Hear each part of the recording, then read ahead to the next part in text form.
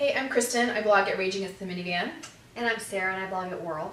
And we had an interesting question from one of my readers. Mhm. And she wants to know what do you do when you and a very close friend have really different parenting styles and there's no escaping being around them and the kids? Um, which is interesting because we have very similar parenting styles, Mhm. like very similar. Yes. Which is why I think we've always like vacationed together with ease and Yes. um, and I can imagine that could be really difficult. Well, didn't you have some pretty different parenting styles on, in your neighborhood before you moved? Mm-hmm. Yeah. How did that work Yeah, out? there were some different ones. Well, I mean, first off, she said it's a good friend. Right? Okay, yes. It's a good friend. Yeah. So, because that puts a whole nother. That's true. That's just like That's a whole true. nother spin to Yeah. have someone that you're very good friends with. I think Mhm. ultimately you just have to grin and bear it. That's that's I mean that's my that's my top line answer. I know it's Yeah. a lot more um, it, it you know detailed than that, but I think you have to just everybody you have to allow people to be who they are. Oh yeah. I mean, Um, but unfortunately, it, it I wish she would have elaborated a bit because if we're talking things that she feels like are unsafe for her children mhm. or a situation, a perfect example is um, I am not really that into guns. Yeah. Um, and but I'm also living in a state now where lots of people love guns, and there's guns in homes um, of people that places where my children go, and it makes me very very nervous. Yeah. when they're not put away in a safe or they might be somewhere where, so. They, you know, something like that, you know, I, I would never like judge that person or get up all in their face about it. But you know what? If we're gonna do play dates, the kids are gonna come to my house. Yeah. You know, Oh, completely Um, agree. so I think you just kind of have to like grin and bear it, Mm-hmm. figure out ways to kind of work around it. It can, it can be really difficult. Like we, I have a really good friend who um, lets the kids be on devices twenty four seven. yeah, And so it's like when we get together, well, first of all, then what my children do is just crowd around her kids and Yes. their devices. yes, And so it's like they're just watching YouTube or iPads all Right. day. right, And it starts to feel like, okay, well, why are we together? And Right. you know, I want them to have quality friendships with one another. But then I, you know, then my kids are complaining like, why can't we be on our iPad? And it's like, No, well, because oh we're with gosh. friends. I point of being feel the same way, and I feel like we have just I come up with a spin off on this because Okay. the whole the, just the whole screens. We're gonna we'll talk about that another Oh, one. yeah, the screen we time because We I it's, should. it's out of it's out of hand. But It's so yeah, and so I've even like then it gets really awkward because I did once mention to a friend. I said, you know, when we get the kids together, like this time, do you think that they could leave their iPads at home? And it it was like it not good? super awkward.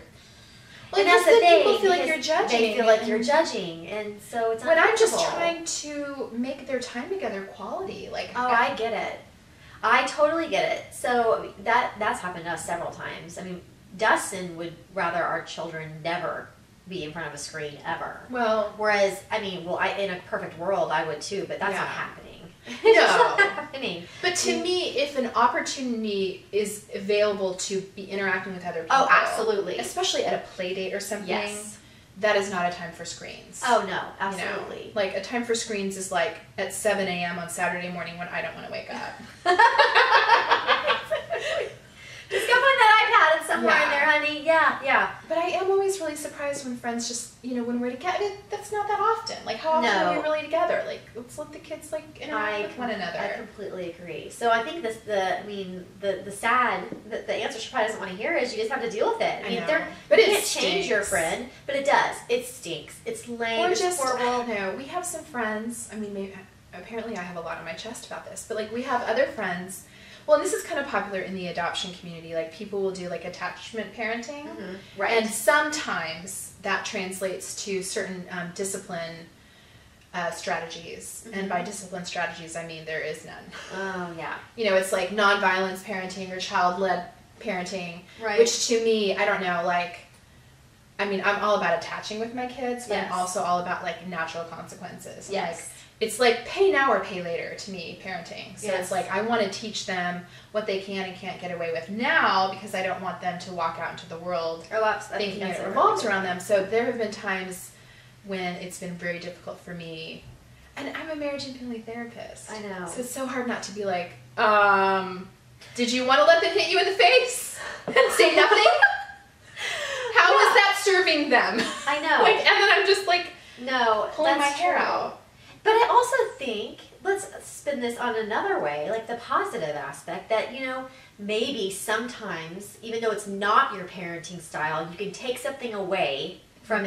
it that might benefit you as a parent. And Like, I I'm not gonna will be like use- that? Yeah, kind of. But no, I will use you as a perfect example because we have similar parenting styles. Yes. But I I think I'm way better now. But a couple I mean, I was pretty neurotic as a parent for a while. I don't find you to be neurotic. And I remember You were more our- safety Sa- concerned. yeah, safety. That's a that's, true. a good. So like we would meet at the park. That's the first true. couple times we met at the park, your kids were Yeah, out. like. No, it wasn't like that. That you know you knew where they were, but you were Yeah. letting them roam free, which I have come to be like that. I'm so glad you did that. I also love that in your home they have their chores Uh-huh. and you you know and you can let it go that the chores might not be done the way you want them to be done but they they do Yeah. it and it's happening whereas Yeah. me and my husband it's like just let me do it because i can do it better because it yeah Well, so I mean, I let them do it because I know I have a housekeeper who will actually. well, it's no, sort of like going through the 100%. motions. No, you shouldn't because it's really. I mean, those two things about you, I've learned from you, and I've, you know, applied it to my own parenting, and it's been very beneficial. Yeah. So maybe this friend of yours, Mhm. uh, maybe there's something that will end up actually helping you in your own parenting. You know, if you just kind of. Yeah. But yeah, I, It's just tough though. Yeah, I mean, I I find that stuff to be like gratingly irritating. Yeah, And maybe oh, it's because I'm a therapist, or maybe everyone does. But yeah, no. when you're watching someone parent in a way that you feel like is actually to the detriment of a child, yes, it's really hard. yes, I mean, especially for me when I see kids just being really entitled yes, or not being yeah. disciplined at all. I just because I know how that ends. They end up in my office and. It's not So good, true. you know. Yeah, so very good it's, point. It's very frustrating, but yeah, I do think you just have to grin and bear it, or talk to your spouse on the way home about it. Bitch about it on the ride home. exactly.